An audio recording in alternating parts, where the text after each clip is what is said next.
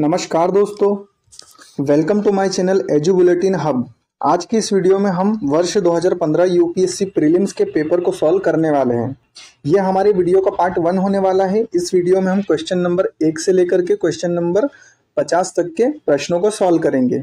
बाकी के बचे क्वेश्चन हम इसके पार्ट टू में सॉल्व करने वाले हैं। तो इस वीडियो में आगे बढ़े। इससे पहले आप सभी से एक रिक्वेस्ट है कि अगर आपने अभी तक हमारे चैनल को सब्सक्राइब नहीं किया है या आपने हमारे चैनल पर पहली बार विज़िट किया है तो हमारे चैनल को सब्सक्राइब ज़रूर कर लीजिए और साथ ही नोटिफिकेशन बेल को भी प्रेस कर दीजिए, ताकि हम जैसे ही अपना अगला वीडियो अपलोड करें, आपको सबसे पहले अपडेट मिल जाए।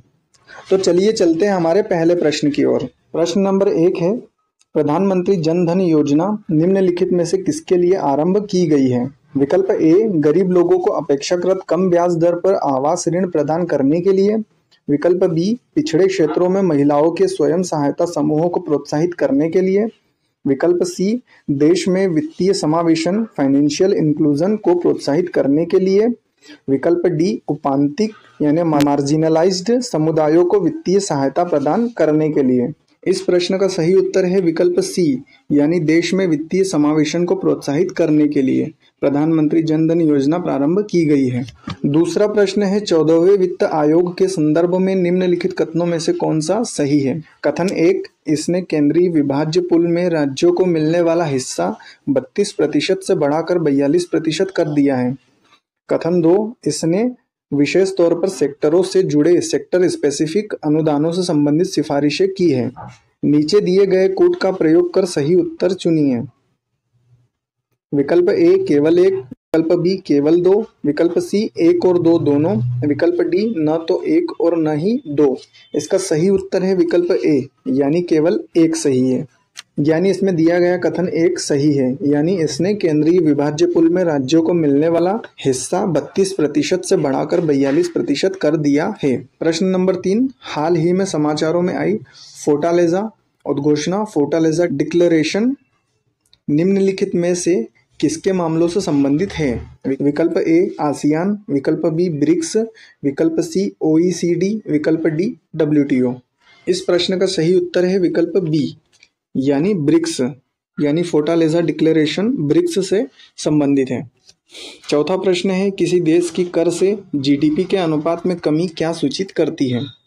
पहला, आर्थिक वृद्धि दर धीमी होना। दूसरा, राष्ट्रीय आय का कम सामयिक, यानी इक्विटेबल वितरण नीचे दिए गए कूट का प्रयोग कर सही उत्तर चुनिए। विकल्प ए केवल एक। विकल्प बी केवल दो। विकल्प सी एक और दो दोनों। विकल्प डी न तो एक और न ही दो। इसका सही उत्तर है विकल्प ए यानी केवल एक सही है। यानी इसमें दिया गया पहला, आर्थिक वृद्धि दर धीमी होना, ये सही है। प्रश्न पांचवा है उष्ण कटिबंधीय यानी ट्रॉपिकल अक्षांशों में दक्षिणी अटलांटिक और दक्षिण पूर्वी प्रशांत क्षेत्रों में चक्रवात उत्पन्न नहीं होता। इसका क्या कारण है? विकल्प ए, समुद्री पृष्ठों के ताप निम्न होते हैं। विकल्प बी, अंत उष्ण कटिबंधीय अभिसारी क्षेत्र इंटर ट्रॉपिकल कन्वर्जेंस, जोन बिरले ही होता है। विकल्प सी, कोरियालिस बल अत्यंत दुर्बल होता है। विकल्प डी, उन क्षेत्रों में भूमि मौजूद नहीं होती। इसका सही उत्तर है विकल्प बी, यानी अंत उष्ण कटिबंधीय अभिसारी क्षेत्र बिरले ही है। छठवा प्रश्न है, भारत के राज्यों का निम्नलिखित में से कौन सा एक युग्म सबसे पूर्वी और सबसे पश्चिमी राज्य को इंगित करता है? विकल्प ए, असम और राजस्थान। विकल्प बी, अरुणाचल प्रदेश और राजस्थान। विकल्प सी, असम और गुजरात। विकल्प डी, अरुणाचल प्रदेश और गुजरात। इसका सही उत्तर है विकल्प डी यानी अरुणाचल प्रदेश और गुजरात सही है। सातवां प्रश्न है, राज्य की नीति के निदेशक तत्वों के बारे में निम्नलिखित कथनों पर विचार कीजिए। पहला कथन है यह तत्व देश के सामाजिक, आर्थिक, लोकतंत्र की व्याख्या करते हैं। दूसरा कथन है, इन तत्वों में अंतर्विष्ट उपबंध किसी न्यायालय द्वारा प्रवर्तनीय एनफोर्शिएबल नहीं है। उपयुक्त कथनों में से कौन सा सही है? विकल्प ए केवल एक, विकल्प बी केवल दो, विकल्प सी एक और दो दोनों, विकल्प डी न तो एक और न ही दो। इसका सही उत्तर है विकल्प सी यानी एक और दो दोनों सही है। यानी इसमें दिए गए दोनों कथन सही है। आठवां प्रश्न है। आठ मूल उद्योगों के सूचकांक index of eight core industries में निम्नलिखित में से किसको सर्वाधिक महत्व दिया गया है? विकल्प ए कोयला उत्पादन। विकल्प बी विद्युत उत्पादन। विकल्प सी उर्वरक उत्पादन। विकल्प डी इस्पात उत्पादन। इसका सही उत्तर है विकल्प बी यानी विद्युत उत्पादन।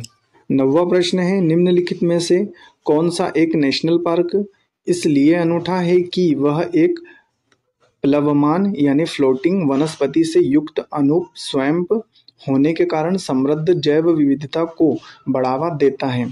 विकल्प A Bhitarkanika national park. विकल्प B Keibul Lamjao national park. विकल्प C Keoladeo Ghana national park. विकल्प डी सुल्तानपुर नेशनल पार्क। इसका सही उत्तर है विकल्प बी यानी केबुल लामजाओ नेशनल पार्क। दसवां प्रश्न है, राष्ट्रीय नव प्रवर्तन प्रतिष्ठान Bharat national innovation foundation India NIF के बारे में निम्नलिखित में से कौन सा कथन सही है? कथन एक एनआईएफ केंद्रीय सरकार के अधीन विज्ञान और प्रौद्योगिकी विभाग की एक स्वायत्त संस्था है। कथन दो एनआईएफ अत्यंत उन्नत विदेशी वैज्ञानिक संस्थाओं के सहयोग से भारत की प्रमुख, यानी प्रीमियर वैज्ञानिक संस्थाओं में अत्यंत उन्नत वैज्ञानिक अनुसंधान को मज़बूत करने की एक पहल है। नीचे दिए गए कूट का प्रयोग कर सही उत्तर चुनिए। विकल्प ए केवल एक। विकल्प बी केवल दो। विकल्प सी एक और दो दोनों। विकल्प डी न तो एक और न ही दो। इसका सही उत्तर है विकल्प ए यानी केवल एक सही है। यानी इसमें दिया गया पहला कथन सही है। ग्यारहवा प्रश्न है, कृषि में नाइट्रोजनी उर्वरकों के अत्यधिक अनुपयुक्त उपयोग का क्या प्रभाव हो सकता है? पहला, नाइट्रोजन यौगिकीकरण। सूक्ष्म जीवों नाइट्रोजन फिक्सिंग माइक्रो ऑर्गेनिजम्स का मिट्टी में प्रचुरोद्भवन, प्रोलिफरेशन में हो सकता है। दूसरा, मिट्टी की अम्लता में बढ़ोतरी हो सकती है। तीसरा, भौम जल, यानी ग्राउंड वाटर में नाइट्रोजन का निक्षालन लीचिंग हो सकता है। नीचे दिए गए कूट का प्रयोग कर सही उत्तर चुनिए। विकल्प ए केवल एक और तीन, विकल्प बी केवल दो, विकल्प सी केवल दो और तीन, विकल्प डी एक, दो और तीन। इसका सही उत्तर है विकल्प सी यानी केवल दो और तीन सही है। यानी इसमें दिया गया दूसरा और तीसरा कथन सही है। बारहवा प्रश्न है, प्रकृति एवं प्राकृतिक संसाधनों के संरक्षण के लिए अंतर्राष्ट्रीय संघ international union for conservation of nature and natural resources IUCN तथा वन्य प्राणी जात एवं वनस्पति जात के संकटापन्न स्पीसीज के अंतर्राष्ट्रीय व्यापार पर convention convention on international trade in endangered species of wild fauna and flora CITES के संदर्भ में निम्नलिखित कथनों में से कौन सा सही है? पहला आईयूसीएन संयुक्त राष्ट्र का एक अंग है तथा साइट्स सरकारों के बीच अंतर्राष्ट्रीय करार है। दूसरा आईयूसीएन प्राकृतिक पर्यावरण के बेहतर प्रबंधन के लिए विश्व भर में हज़ारों क्षेत्र परियोजनाएँ चलाता है। तीसरा साइट्स उन राज्यों पर वैध रूप से आबद्धकार है जो इसमें शामिल हुए हैं, लेकिन यह कन्वेंशन राष्ट्रीय विधियों का स्थान नहीं लेता है। नीचे दिए गए कोड का प्रयोग कर सही उत्तर चुनिए। विकल्प ए केवल एक, विकल्प बी केवल दो और तीन, विकल्प सी केवल एक और तीन, विकल्प डी एक, दो और तीन। इसका सही उत्तर है विकल्प बी यानी केवल दो और तीन सही है। यानी इसमें दिया गया दूसरा और तीसरा कथन सही है। तेरहवा प्रश्न है, गन्ने की उचित एवं लाभप्रद कीमत एफआरपी को निम्नलिखित में से कौन अनुमोदित करता है? विकल्प ए, आर्थिक मामलों की मंत्रिमंडलीय समिति, विकल्प बी, कृषि लागत और कीमत आयोग, विकल्प सी, कृषि मंत्रालय का विपणन और निरीक्षण निदेशालय, विकल्प डी, कृषि उत्पाद विपणन समिति। इसका सही उत्तर है विकल्प ए, यानी आर्थिक मामलों के मंत्रिमंडलीय समिति, एफआरपी का अनुमोदन करती है। चौदवा प्रश्न है विषुवतीय प्रतिधाराओं इक्वेटोरियल काउंटर करेंट के पूर्वाभिमुख प्रवाह की व्याख्या किससे होती है? विकल्प ए, पृथ्वी का अपने अक्ष पर घूर्णन। विकल्प बी, दो विषुवतीय धाराओं का अभिसरण कन्वर्जेंस विकल्प सी, जल की लवणता में अंतर। विकल्प डी विश्वत व्रत के पास प्रशांत मंडल मेखला belt of calm belt of calm का होना। इस प्रश्न का सही उत्तर है विकल्प बी। यानी दो विषुवतीय धाराओं का अभिसरण। पंद्रहवा प्रश्न है, निम्नलिखित युग्मों पर विचार कीजिए। एक तरफ़ आपको तीर्थ स्थान दिए गए हैं, दूसरी तरफ़ आपको अवस्थिति दी गई है। पहला है, श्री शैलम, नल्लमल्ला पहाड़िया। दूसरा है, ओंकारेश्वर, सतमाला पहाड़िया। तीसरा है, पुष्कर, महादेव पहाड़िया। उपर्युक्त में से कौन सा युग्म सही सुमेलित है? विकल्प ए, केवल एक। विकल्प बी केवल दो और तीन, विकल्प सी, केवल एक और तीन, विकल्प डी, एक, दो और तीन। इसका सही उत्तर है विकल्प ए, यानी केवल एक सही है। यानी इसमें दिया गया केवल पहला, यानी श्री शैलम नल्लमल्ला पहाड़िया सही सुमेलित है। रोलेट सत्याग्रह के संदर्भ में निम्नलिखित में से कौन सा कथन सही है? पहला रोलेट अधिनियम, सेडिशन कमेटी की सिफारिश पर आधारित था। दूसरा रोलेट सत्याग्रह में गांधी जी ने होम रूल लीग का उपयोग करने का प्रयास किया। तीसरा, साइमन कमीशन के आगमन के विरुद्ध हुए प्रदर्शन रोलेट सत्याग्रह के साथ साथ हुए। नीचे दिए गए कूट का प्रयोग कर सही उत्तर चुनिए। विकल्प ए, केवल एक। विकल्प बी, केवल एक और दो। विकल्प सी, केवल दो और तीन। विकल्प डी, एक, दो और तीन।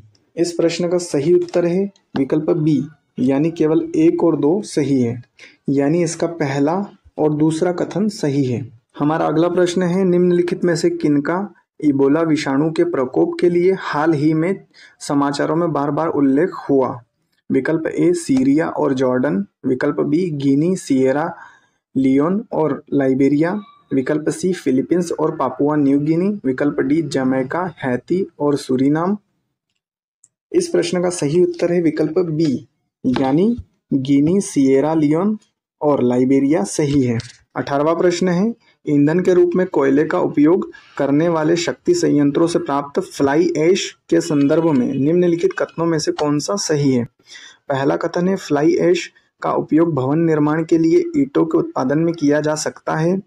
दूसरा है, फ्लाई ऐश का उपयोग कंक्रीट के कुछ पोर्टलैंड सीमेंट अंश के स्थानापन्न रिप्लेसमेंट के रूप में किया जा सकता है। तीसरा है, फ्लाई एश केवल सिलिकॉन डाइऑक्साइड तथा कैल्शियम ऑक्साइड से बना होता है और इसमें कोई विषाक्त यानी टॉक्सिक तत्व नहीं होते। नीचे दिए गए कोड का प्रयोग कर सही उत्तर चुनिए। विकल्प ए एक और दो, विकल्प बी केवल दो, विकल्प सी एक और तीन, विकल्प डी केवल तीन। इस प्रश्न का सही उत्तर है विकल्प ए, यानी केवल एक और दो सही है।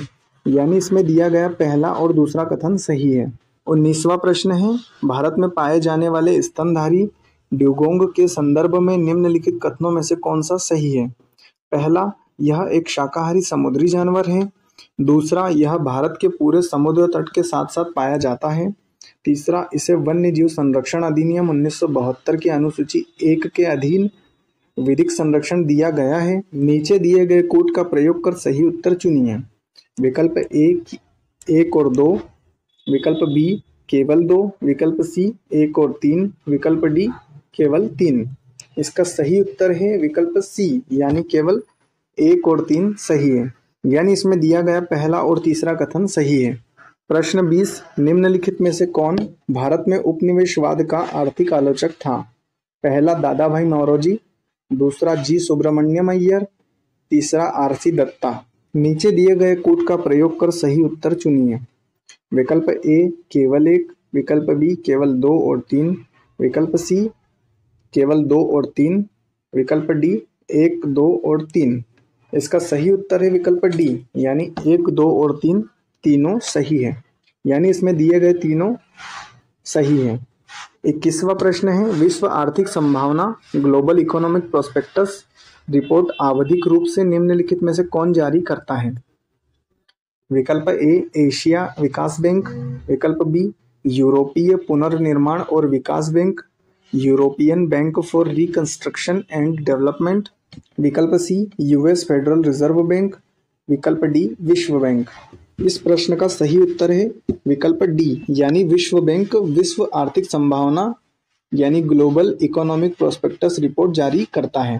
बाईसवा प्रश्न है, जब भारतीय रिज़र्व बैंक सांविधिक नकदी अनुपात स्टेचुटरी लिक्विडिटी रेशियो को 50 आधार अंक, यानी बेसिस पॉइंट कम कर देता है तो निम्नलिखित में से क्या होने की संभावना होती है? विकल्प ए, भारत की जीडीपी विकास दर प्रबलता से बढ़ेगी विकल्प बी, विदेशी संस्थागत निवेशक हमारे देश में और अधिक पूंजी लाएँगे। विकल्प सी, अनुसूचित वाणिज्यिक बैंक अपने उधार देने की दर को घटा सकते हैं। विकल्प डी, इससे बैंकिंग व्यवस्था की नकदी यानी लिक्विडिटी में प्रबलता से कमी आ सकती है। इस प्रश्न का सही उत्तर है विकल्प सी, यानी अनुसूचित वाणिज्यिक बैंक अपने उधार देने की दर को घटा सकते हैं। तेईसवा प्रश्न है स्वास्थ्य क्षेत्र में नैनो टेक्नोलॉजी के उपयोग के संदर्भ में निम्नलिखित कथनों में से कौन सा सही है? पहला है नैनो टेक्नोलॉजी के द्वारा लक्ष्य युक्त औषधि प्रदान करना टारगेटेड ड्रग डिलीवरी संभव कर दिया गया है। दूसरा है नैनो टेक्नोलॉजी जीन उपचार, यानी जीन थेरेपी में एक बड़ा योगदान दे सकती है। नीचे दिए गए कूट का प्रयोग कर सही उत्तर चुनिए। विकल्प ए केवल एक। विकल्प बी केवल दो। विकल्प सी एक और दो दोनों। विकल्प डी न तो एक और न ही दो। इस प्रश्न का सही उत्तर है विकल्प सी यानी एक और दो दोनों सही है। यानी इसमें दिए गए दोनों कथन सही है। चौबीसवा प्रश्न है, भारत में कृषि उत्पादों के बाज़ार को किसके अधीन विनियमित किया जाता है? विकल्प ए आवश्यक वस्तु अधिनियम 1955 विकल्प बी राज्यों द्वारा अधिनियमित कृषि उत्पाद विपणन समिति अधिनियम। विकल्प सी कृषि उत्पाद श्रेणीकरण एवं चिन्हांकन अधिनियम उन्नीस सौ सैंतीस। विकल्प डी, खाद्य उत्पाद आदेश उन्नीस सौ छप्पन एवं मांस तथा खाद्य उत्पाद आदेश उन्नीस सौ तिहत्तर। इस प्रश्न का सही उत्तर है विकल्प बी, यानी राज्यों द्वारा अधिनियमित कृषि उत्पाद विपणन समिति अधिनियम। पच्चीसवा प्रश्न है, निम्नलिखित में से कौन सा एक भारत का राष्ट्रीय जलीय प्राणी है? विकल्प ए, खारे पानी का मगर। विकल्प बी, ऑलिव रिडले टर्टल। विकल्प सी, गंगा की डॉल्फिन। विकल्प डी, घड़ियाल। इस प्रश्न का सही उत्तर है विकल्प सी यानी गंगा के डॉल्फिन। छब्बीसवा प्रश्न है, कांग्रेस सोशलिस्ट पार्टी के संदर्भ में निम्नलिखित कथनों पर विचार कीजिए। इसने ब्रिटिश माल के बहिष्कार और करों के अपवंचन की वकालत की। दूसरा, यह सर्वहारा वर्ग का अधिनायकत्व स्थापित करना चाहती थी।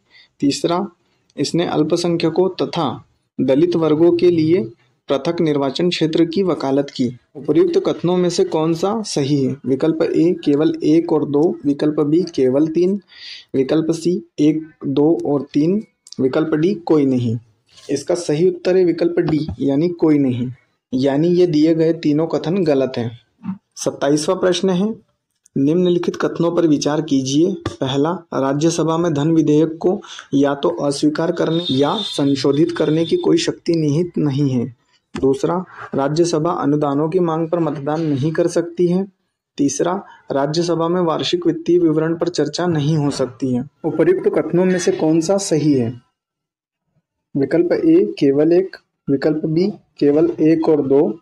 विकल्प सी, केवल दो और तीन। विकल्प डी, एक, दो और तीन। इस प्रश्न का सही उत्तर है विकल्प बी।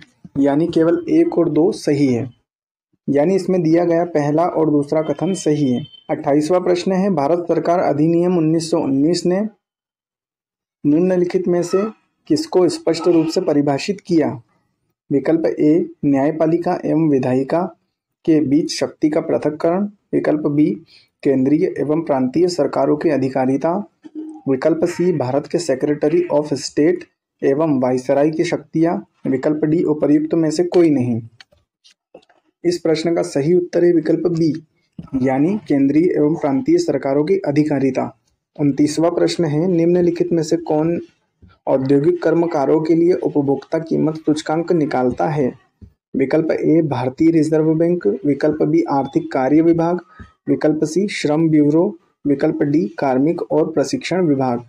इस प्रश्न का सही उत्तर है विकल्प सी, यानी श्रम ब्यूरो। तीसवा प्रश्न है, आधुनिक वैज्ञानिक अनुसंधान के संदर्भ में, हाल ही में समाचारों में आए दक्षिणी ध्रुव पर स्थित एक कण संसूचक आइस क्यूब के बारे में निम्नलिखित कथनों पर विचार कीजिए। पहला है, यह विश्व का सबसे बड़ा बर्फ़ में एक घन किलोमीटर घेरे वाला न्यूट्रॉन संसूचक है। दूसरा, यह डार्क मैटर की खोज के लिए बनी शक्तिशाली दूरबीन है। तीसरा, यह बर्फ़ में गहराई में दबा हुआ है। उपयुक्त कथनों में से कौन सा सही है? विकल्प ए, केवल एक। विकल्प बी, केवल दो और तीन। विकल्प सी, केवल एक और तीन। विकल्प डी, एक, दो और तीन। इस प्रश्न का सही उत्तर है विकल्प डी, यानी एक, दो और तीन सही है। यानी इसमें दिए गए तीनों कथन सही है। इकतीसवा प्रश्न है agreement on agriculture agreement on the application of sanitary and phytosanitary measures और पीस क्लोज शब्द प्रायः समाचारों में किसके मामलों के संदर्भ में आते हैं? विकल्प ए, खाद्य और कृषि संगठन। विकल्प बी, जलवायु परिवर्तन। संयुक्त राष्ट्र का रूपरेखा सम्मेलन। विकल्प सी, विश्व व्यापार संगठन। विकल्प डी, संयुक्त राष्ट्र पर्यावरण कार्यक्रम। इस प्रश्न का सही उत्तर है विकल्प सी, यानी विश्व व्यापार संगठन।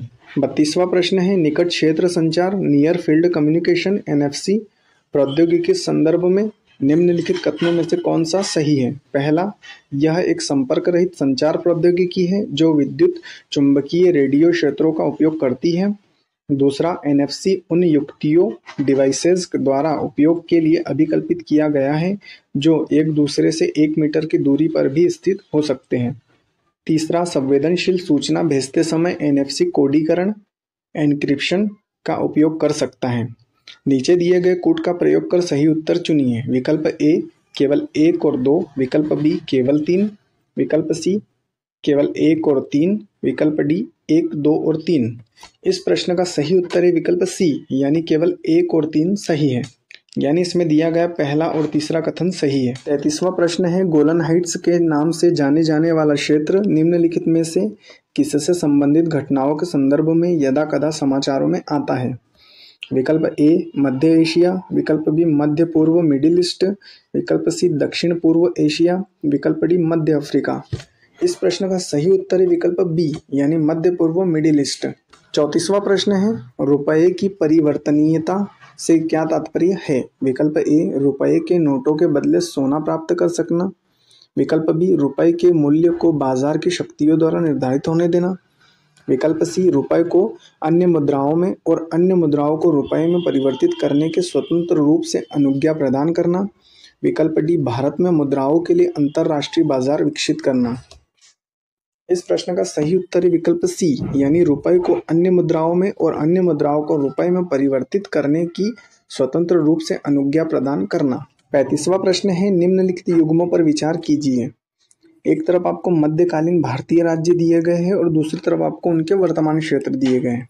पहला, चंपक, मध्य भारत। दूसरा, दुर्गर, जम्मू। तीसरा, कुलुत, मालाबार।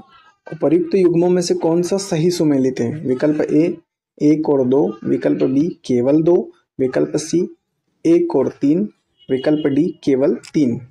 इस प्रश्न का सही उत्तर है विकल्प बी, यानी केवल दो सही है। यानी इसमें दिया गया केवल दूसरा यानी दुर्गर और जम्मू सही सुमेलित है।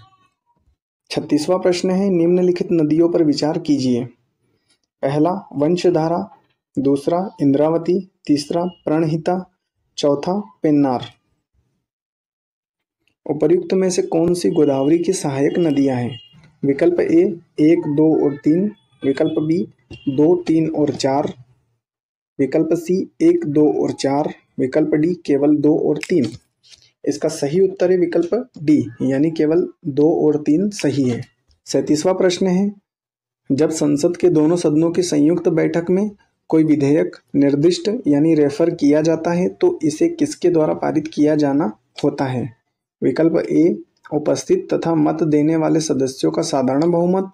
विकल्प बी, उपस्थित तथा मत देने वाले सदस्यों का तीन चौथाई बहुमत।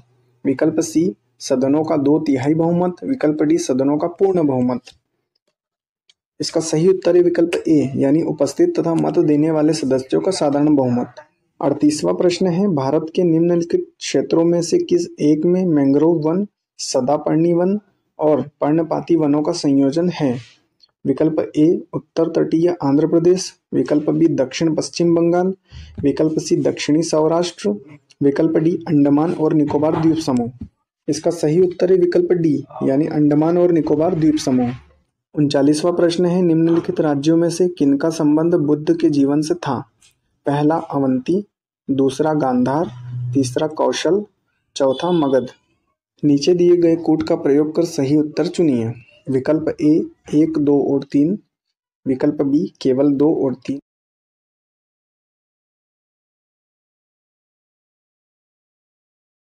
चार इसका सही उत्तर है विकल्प डी। यानी केवल तीन और चार सही है। यानी इसमें दिया गया तीसरा और चौथा कौशल और मगध सही है। चालीसवा प्रश्न है, निम्नलिखित में से कौन सा एक ओजोन का अवक्षय करने वाले पदार्थों के प्रयोग पर नियंत्रण करने और उन्हें चरणबद्ध रूप से प्रयोग बाह्य करने फेजिंग आउट के मुद्दे से संबंध है? विकल्प ए, ब्रेटन वुड्स सम्मेलन, विकल्प बी, मॉन्ट्रियल प्रोटोकॉल, विकल्प सी, क्योटो प्रोटोकॉल, विकल्प डी, नगोया प्रोटोकॉल। इसका सही उत्तर है विकल्प बी, यानी मॉन्ट्रियल प्रोटोकॉल। इकतालीसवां प्रश्न है, निम्नलिखित पर विचार कीजिए। बाबर के भारत में आने के फलस्वरूप, पहला उपमहाद्वीप में बारूद के उपयोग की शुरुआत हुई, दूसरा, इस क्षेत्र की स्थापत्य कला में मेहराब और गुंबद बनने की शुरुआत हुई, तीसरा, इस क्षेत्र में तैमूरी तिमूरिद राजवंश स्थापित हुआ। नीचे दिए गए कोड का प्रयोग कर सही उत्तर चुनिए। विकल्प ए केवल एक और दो, विकल्प बी केवल तीन, विकल्प सी केवल एक और तीन, विकल्प डी एक, दो और तीन। इसका सही उत्तर है विकल्प बी, यानी केवल तीन। यानी इसमें दिया गया केवल तीसरा सही है। कि भारत सरकार के नीति आयोग की स्थापना निम्नलिखित में से किसका स्थान लेने के लिए की है? विकल्प ए मानव अधिकार आयोग विकल्प बी वित्त आयोग, विकल्प सी विधि आयोग, विकल्प डी योजना आयोग। इस प्रश्न का सही उत्तर है विकल्प डी, यानी योजना आयोग। तैतालीसवा प्रश्न है, आमतौर पर समाचारों में आने वाला रियो प्लस ट्वेंटी सम्मेलन क्या है? विकल्प ए, यह धारणीय विकास सस्टेनेबल डेवलपमेंट पर संयुक्त राष्ट्र सम्मेलन है। विकल्प बी, यह विश्व व्यापार संगठन की मंत्रिवर्गीय मिनिस्ट्रियल बैठक है। विकल्प सी, यह जलवायु परिवर्तन पर अंतर सरकारी panel intergovernmental panel on climate change का सम्मेलन है। विकल्प डी, यह जैव विविधता पर कन्वेंशन के सदस्य देशों का सम्मेलन है। इस प्रश्न का सही उत्तर है। विकल्प ए, यानी यह धारणीय विकास सस्टेनेबल डेवलपमेंट पर संयुक्त राष्ट्र सम्मेलन है। चौवालीसवा प्रश्न है, निम्नलिखित कथनों पर विचार कीजिए। पहला, भारतीय संघ की कार्यपालिका शक्ति प्रधानमंत्री में निहित है। दूसरा, प्रधानमंत्री सिविल सेवा बोर्ड का प्रदेन अध्यक्ष होता है। उपयुक्त तो कथनों में से कौन सा सही है? विकल्प ए केवल एक, विकल्प बी केवल दो, विकल्प सी एक और दो दोनों, विकल्प डी न तो एक और न ही दो। इस प्रश्न का सही उत्तर है विकल्प डी, यानी न तो एक और न ही दो। यानी इसमें दिए गए दोनों कथन गलत हैं। पैतालीसवा प्रश्न है गोल्डी लोक्स जोन्स शब्द निम्नलिखित में से किसके संदर्भ में अक्सर समाचारों में देखा जाता है? विकल्प ए, भूपृष्ठ के ऊपर वास योग्य मंडल की सीमाएँ विकल्प बी, पृथ्वी के अंदर का वह क्षेत्र जिसमें शैल गैस उपलब्ध है। विकल्प सी, बाह्य अंतरिक्ष में पृथ्वी जैसे ग्रहों की खोज। विकल्प डी, मूल्यवान धातुओं से युक्त उल्का पिंडो मीटियोराइट्स की खोज। इस प्रश्न का सही उत्तर है विकल्प सी यानी बाह्य अंतरिक्ष में पृथ्वी जैसे ग्रहों की खोज। छियालीसवा प्रश्न है, इनमें से किसने अप्रैल 1930 में नमक कानून तोड़ने के लिए तंजौर तट पर एक अभियान संगठित किया था? विकल्प A V O Chidambaram Pillai. विकल्प बी सी राजगोपालाचारी। विकल्प सी के कामराज। विकल्प डी एनी बेसेंट इस प्रश्न का सही उत्तर है विकल्प बी, यानी सी राजगोपालाचारी। सैतालीसवा प्रश्न है, इनमें से किसने कृष्णा नदी के सहायक नदी के दक्षिणी तट पर एक नए नगर की स्थापना की और उस देवता के प्रतिनिधि के रूप में अपने इस नए राज्य पर शासन करने का दायित्व लिया? जिसके बारे में माना जाता था कि कृष्णा नदी से दक्षिण की समस्त भूमि उस देवता की है। विकल्प ए, अमोघ वर्ष प्रथम। विकल्प बी, बल्लाल द्वितीय। विकल्प सी, हरिहर प्रथम, विकल्प डी, प्रताप रुद्र द्वितीय।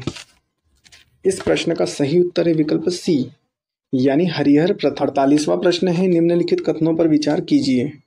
पहला, भारतीय राष्ट्रीय कांग्रेस की प्रथम महिला अध्यक्ष सरोजिनी नायडू थी। दूसरा, भारतीय राष्ट्रीय कांग्रेस के प्रथम मुस्लिम अध्यक्ष बदरुद्दीन तैयब जी थे।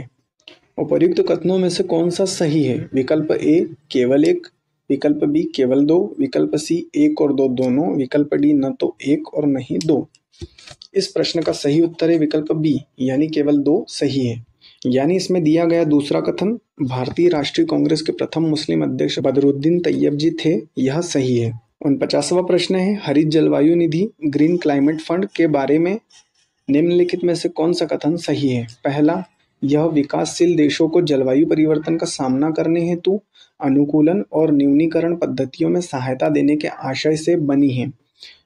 कथन दो, इसे यूनेप, ओईसीडी, एशिया विकास बैंक और विश्व बैंक के तत्वाधान में स्थापित किया गया है। नीचे दिए गए कूट का प्रयोग कर सही उत्तर चुनिए। विकल्प ए, केवल एक। विकल्प बी, केवल दो। विकल्प सी, एक और दो दोनों। विकल्प डी, न तो एक और नहीं दो। इस प्रश्न का सही उत्तर है विकल्प ए यानी केवल एक सही है। यानी इसमें दिया गया पहला कथन सही है। पचासवा प्रश्न है, वर्ष 2014 के लिए इंदिरा गांधी शांति, निरस्त्रीकरण और विकास पुरस्कार निम्नलिखित में से किस एक को दिया गया था? विकल्प ए भाभा परमाणु अनुसंधान केंद्र। विकल्प बी भारतीय विज्ञान संस्थान। विकल्प सी भारतीय अंतरिक्ष अनुसंधान संगठन। विकल्प डी टाटा मूलभूत अनुसंधान संगठन। इस प्रश्न का सही उत्तर है विकल्प सी, यानी भारतीय अंतरिक्ष अनुसंधान संगठन को 2014 के लिए इंदिरा गांधी शांति, निरस्तीकरण और विकास पुरस्कार दिया गया था। तो आज का हमारा ये डिस्कशन यहीं समाप्त होता है। आपको ये वीडियो कैसा लगा हमें कमेंट के माध्यम से ज़रूर बताइए। और साथ ही अगर आपको इन प्रश्नों से रिलेटेड कोई और जानकारी चाहिए तो हमें कमेंट के माध्यम से आप पूछ सकते हैं। और अगर आपने अभी तक U P S UPSC prelims 2014 के क्वेश्चन पेपर का सॉल्व वीडियो अभी तक नहीं देखा है तो उसका लिंक मैंने डिस्क्रिप्शन बॉक्स में दे दिया है। उसे भी जाकर आप ज़रूर देख लीजिए। और साथ ही हमारे चैनल को सब्सक्राइब और वीडियो को लाइक एंड शेयर ज़रूर करें। धन्यवाद।